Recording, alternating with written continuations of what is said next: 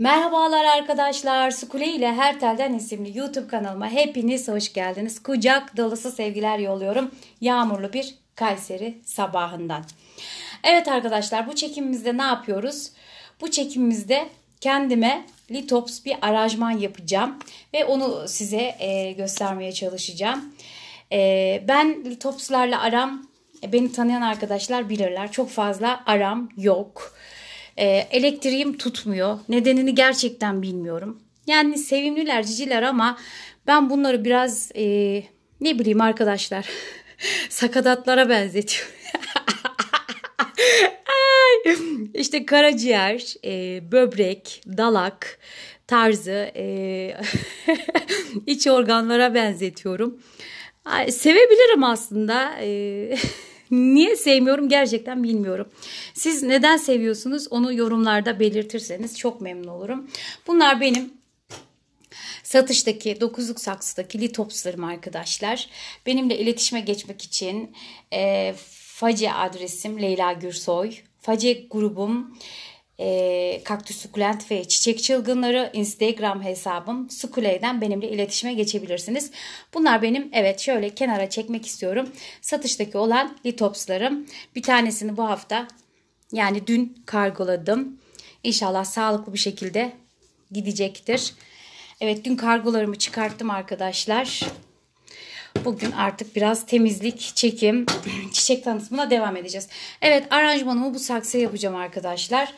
Ee, toprakta çok fazla ya ben, ben bunları çok aşırı e, hani sevmediğim için aşırı değil hiç sevmediğim için e, nasıl bakılıyor gerçekten size çok fazla bilgi veremeyeceğim.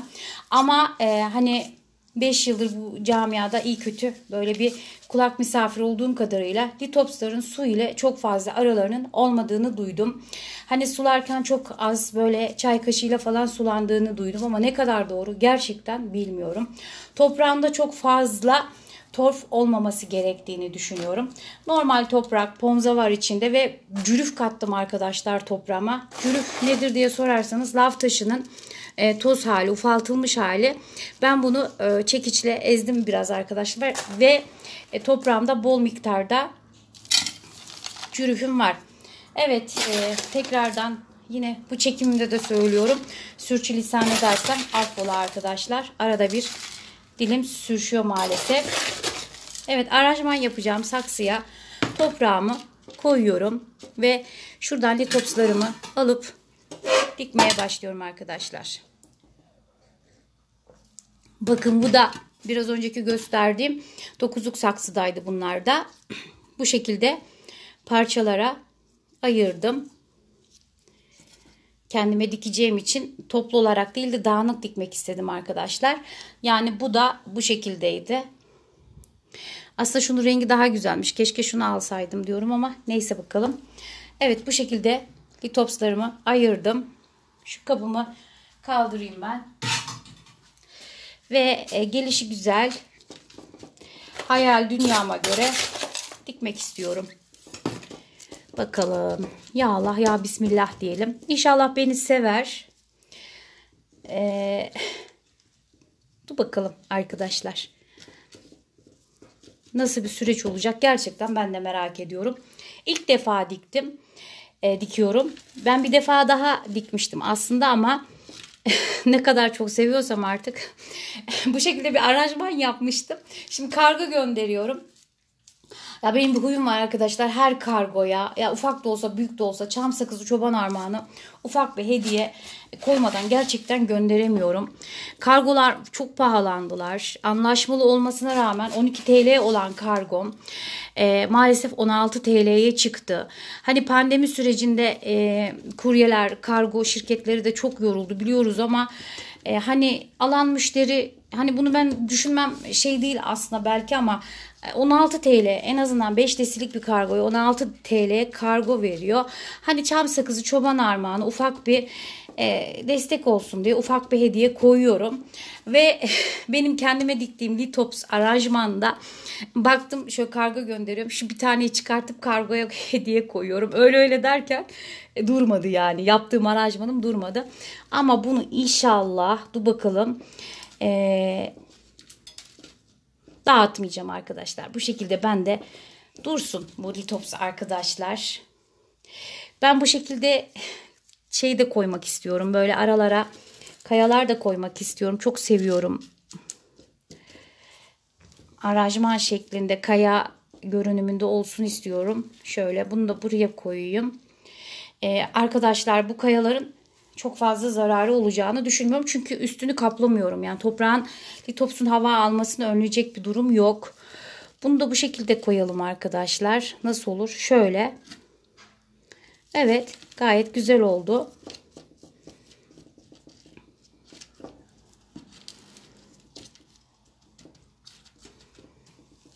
Harika. Evet daha iki tane dikilecek litopsumuz var. Bir tanesini de şuraya dikeyim şuraya ben.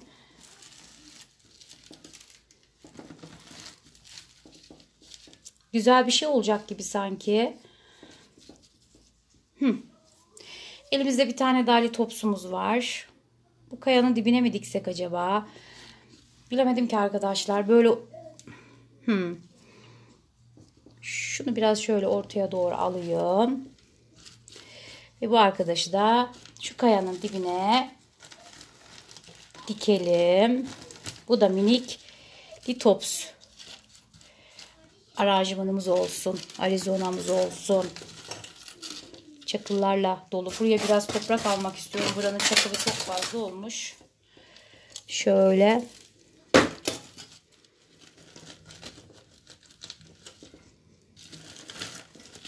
Buraya inat etti. Buraya çakıllar birikmiş dikilmemek için. Heh.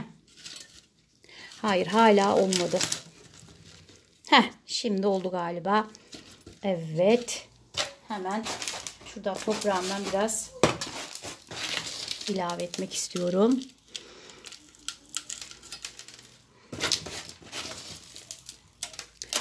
Şöyle biraz oturması için parmaklarımla çöktürüyorum. Hı. Ponza taşım olsaydı aslında ponzayla süslerdim ama e, şu anda ne kadar doğru bir şey yapıyorum gerçekten bilmiyorum arkadaşlar. Ama görsellik için birazcık silis kumu e, katmak istiyorum şu şekilde. Ama dediğim gibi yine cürüf ufağı, e, cürüf olabilir. Yani lav ufağı ya da pomza olabilir. Daha sağlık olur. Bu ne kadar doğru bilmiyorum gerçekten. Onun için siz temkinli olun bu konuda lütfen. Oturacak ve çok güzel bir görüntü olacak inşallah. Çok az bir şey kattım. Zannetmiyorum bunun toprağa hava almasını önleyeceğine. Evet arkadaşlar şöyle bir çalkalayalım.